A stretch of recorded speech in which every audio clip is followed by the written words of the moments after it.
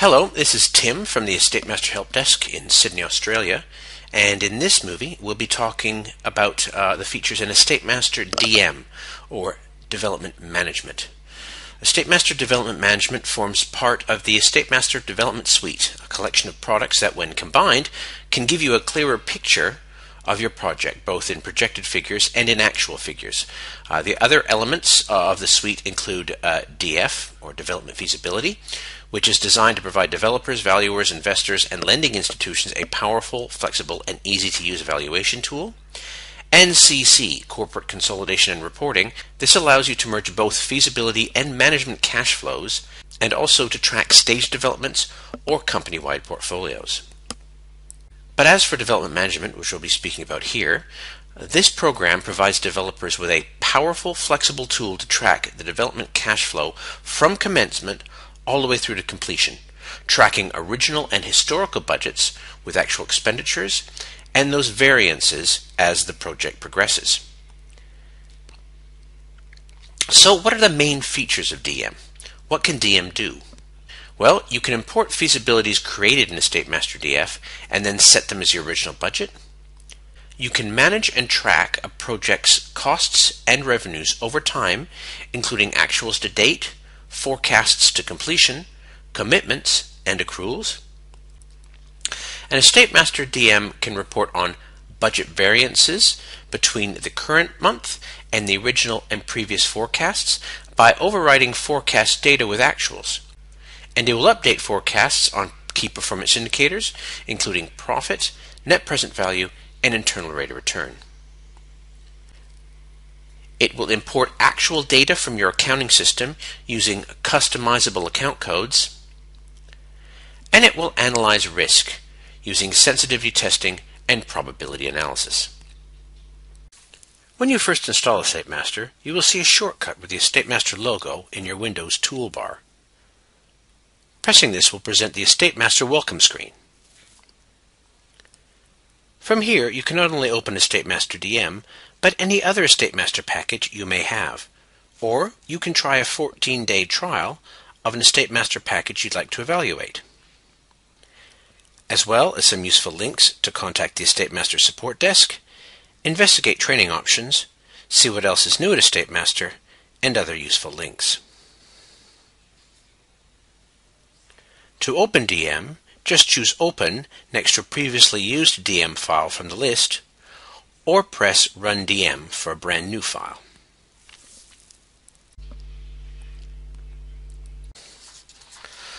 Although Estate Master DM is designed in the Microsoft .NET platform for faster processing and smaller file sizes, you'll see it has retained a familiar spreadsheet interface, including all the benefits of being able to link cells,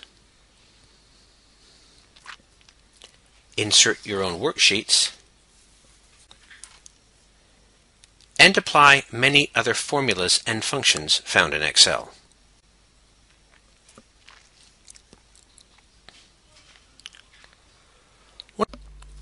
The DM summary page is one of the many reporting features that track the project against various forecasts and budgets, which are defined by the user throughout the project's lifecycle. Once these budgets are set and locked away, DM allows you to monitor these budgets going forward. As you move through your project, in this case in March 2017, the summary page provides you with forecasts for the current month, the previous month, along with variances to all previous forecasts and budgets. For example, in this particular project, the original feasibility estimated a net profit of just over $46 million and an internal rate of return of almost 22%. But as the summary sheet shows, the profit and IRR have steadily declined.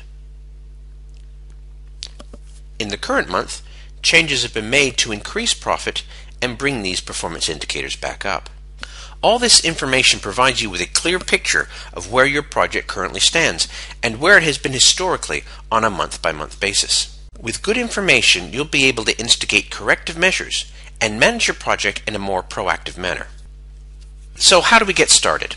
Well, there are initially two ways to set up your DM project. The first and easiest way is by importing a feasibility that has been created in Estate Master DF, or Development Feasibility.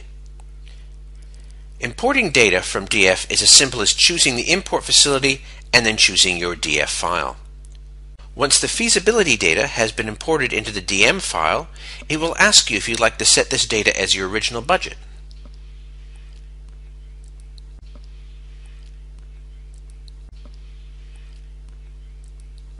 Alternatively, a second method of setting up your DM project is by manually inputting the project directly into the DM model itself from scratch. To do this, you'll need to enter your project's global parameters, including the project's descriptions, cost and revenue escalations, sales commissions, financing details, and hurdle rates. All these inputs can be found in the setup sheet. The details of your costs and revenues are then entered in the input assumption section of your cash flow sheet. This is indicated by a yellow strip across the top of the page. For ease of use, all the cells that require input are in blue font. And the cash flow sheet is divided into sections vertically based on various project cost types, revenues, and financing options. For each cost item, you will input a description, how you would like your item to reforecast. There are four reforecast settings you can choose from, and reforecasting allows you to adjust how your project cost or revenue is reforecasted in the cash flow as the project progresses. You then choose how your cost is calculated, whether it's a percentage of another cost or whether it's a base rate per unit. Then you can select the month start and month span for the item and an applicable escalation rate. These escalation rates can be customized in the escalation table we saw earlier in the setup sheet. And further along in your input assumptions, you do have the option to apply an S-curve, which can be customized in the S-curve tab. Further down the sheet in the revenue section, you can enter different types of revenue, including sales and their associated selling costs, rental revenue and their associated leasing costs, other income, and financing costs. This allows you to model all types of development projects in DM. Once all the cost and revenue assumptions have been made, a periodic cash flow table will be automatically generated represented by the blue line at the top of the screen. The cash flow table can also be converted into a Gantt chart, which provides a visual representation of the project's timelines and assists you in scheduling and the timing of your project. The DM model also provides great flexibility by enabling you to define numerous preferences, such as currency, taxation formats, customized hurdle rate calculation methods, and the ability to automate your budgets. All this allows you to change the way your product works to suit your business or your property type. When your project is originally set up, you'll set up your original budget. But in addition to your original budget, DM allows you to set up two alternative budgets your project budget and your previous budget. This allows you to track historical budgets against actuals. As forecasted, costs and revenues are updated with actuals, the DM model will show any negative or positive variation against those budgets which have been set as the project moves forward. These variations are tracked in the forecast summary section of the cash flow, represented with a purple strip across the top. Once you've set up your project's assumptions and budgets and your project is live, you can then update the cash flow with actual costs and revenues in three different ways. Firstly, you can manually input your actuals directly into the DM cash flow. Secondly, to minimize the risk of human error and reduce time spent doing manual entries, you can configure and automate DM to import your actuals directly from your accounting systems, whether they be MYOB, SAP, Oracle, Voyager, or any other system. And finally, you can opt to update the project's cash flow by adjusting the assumptions directly. For example, if costs or revenue forecasts themselves need to be adjusted. Once your project is live and you're updating your cash flow month by month with actuals, you can review the project's performance in the following reports. First, the forecast summary in the cash flow sheet. This gives you a rundown for each budget and variation line by line, including all three of your saved budgets, the variations to those budgets, the actual cost to date, the total cost to date, and the forecast to completion. In the summary sheet, you can review all the revenues, costs, and performance indicators compared with previous forecasts and budgets. Since DM saves the previous month's forecast, you can easily check how the project is tracking as well as reference back to the original feasibility. In this example, we can see an increase in various costs totaling over $5 million since the original budget. Because the project is being tracked on a month by month basis, DM provides the means to determine why this change has occurred and what the current position is. A subsequent $2.7 million adjustment in revenue has been implemented to offset this. Further down the page, we can compare all our basic key performance indicators for each saved budget. Indicators such as development margin, net present value, internal rate of return, and equity internal rate of return. In this example, we can see the development margin and the internal rate of return have both decreased steadily until steps are taken in the current month. In the Returns on Funds Invested section at the bottom of the summary sheet, further details are provided about the project, including the original equity position compared with the current equity position, every layer's peak exposure and payback dates, and subsequent variances per layer. In the chart sheet, you are provided with a graphic layered representation of debt exposure and profit, a graphic representation of the current and historical budgets compared to each other, and a projected profit chart which measures the changes in the forecast profit throughout the life cycle of the project.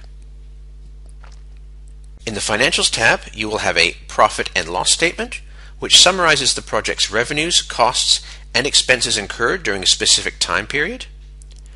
And you have a balance sheet which summarizes the company's assets, liabilities, and shareholders' equity at a specific point in time. DM also features risk analysis tools such as a sensitivity sheet and a probability sheet, both of which provide further analysis of your project and its sensitivity to changes in various assumptions. One of the key value propositions with the EstateMaster software is its ability to allow the user to create their own client-specific reports and calculations, either from scratch or from importing an existing Excel spreadsheet and then dynamically linking those reports to or from a EstateMaster data. Here you can see an example of importing an existing Excel spreadsheet and the unique ability to link your own data into EstateMaster.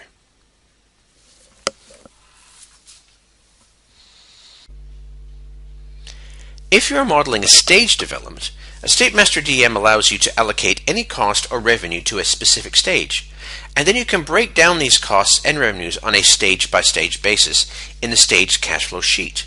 The DM cash flow sheet also allows you to dedicate global costs and allocate these costs across your stages on a percentage basis. And if you have any repeated and specific types of projects, projects throughout different regions or specific financial structures, you can create EstateMaster DM templates. In these templates, you can configure inputs, preferences, display settings, and even custom worksheets. You can then use this template to start all new projects of that type with all your preferences and settings ready for you. And all EstateMaster products are provided with the EstateMaster Enterprise Database. This is an SQL database which allows a user to store all development cash flows, whether they be in DF or DM, into a central location. When used in conjunction with EstateMaster CC, Corporate Consolidation and Reporting, it allows users to generate consolidated and comparison reports of selected cash flows, projects, or portfolios and to calculate forecast and actual investment returns, including development profit, internal rate of return, and net present value. EstateMaster DM is also fully equipped with many tutorial options if you need guidance on how to use the model. If you highlight any of the titles in the setup sheet or the cash flow sheets, you will receive handy tooltips on how to do the inputs for your model. In addition, there's a handy help menu in the top right hand side of the toolbar. If you don't find the answers to your questions there, then visit www.estatemaster.com for a comprehensive list of training dates in your area or our contact details for the Estate Masters support desk. Why not try Estate Master DM for yourself? Visit www.estatemaster.com for a free 14-day trial. And if you have any further questions, please contact us at any of our global offices.